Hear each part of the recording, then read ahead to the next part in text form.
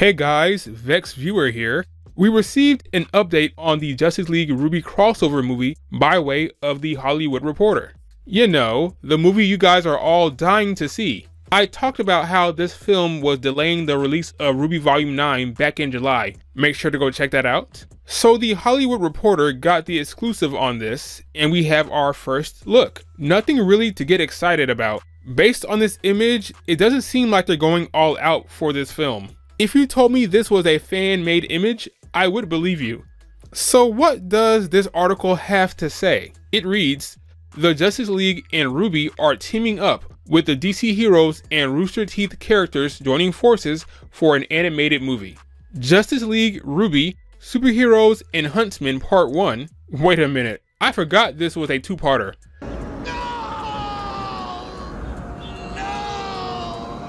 Apparently, part 2 has already been animated, which is why so many animators' contracts aren't being renewed because there's nothing for them to do over there. Anyway, part 1 arrives on digital, 4K, and Blu-ray in the spring. Superman, Batman, Wonder Woman, Flash, Cyborg, Green Lantern, and Vixen are transported to the strange world of Remnant and find themselves turned into teenagers.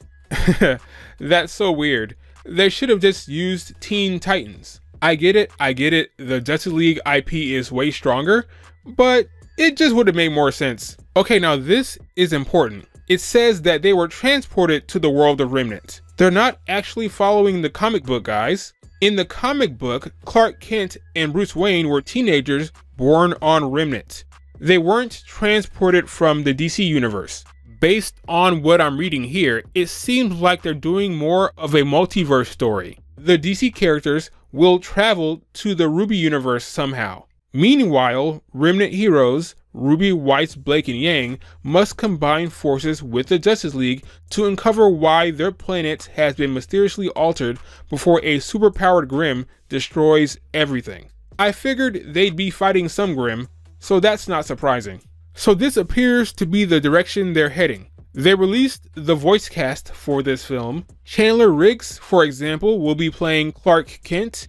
You may know him as Carl Grimes from The Walking Dead. This film was written by Megan Fitzmartin with RWBY's Kerry Shawcross directing. I'm not familiar with Megan's work. She may be a good writer for all I know. She currently writes for DC Comics She's best known for her role as executive assistant to the showrunner on the show Supernatural, then becoming a staff writer herself. She also wrote for the animated DC Superhero Girls show. I've heard some not so good things about the comic book she's written, so uh, yeah, don't know what to tell you there.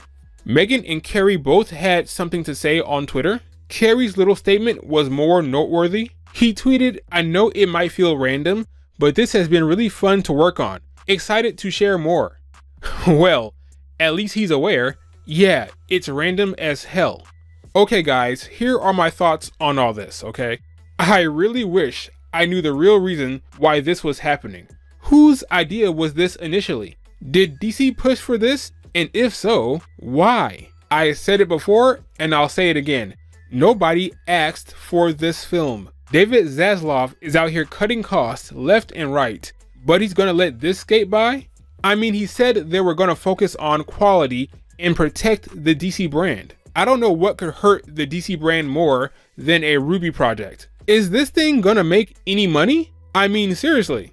Guys, there's a chance this could do really poorly, and that could put RWBY and Rooster Teeth as a whole on Zaslav's radar. I hope the budget for this film was peanuts. Honestly, it won't be long before RT Animation gets completely folded into Warner Brothers Animation, if not axed altogether. If, and I mean if, RWBY Volume 10 is greenlit, it might be a Warner Brothers studio project.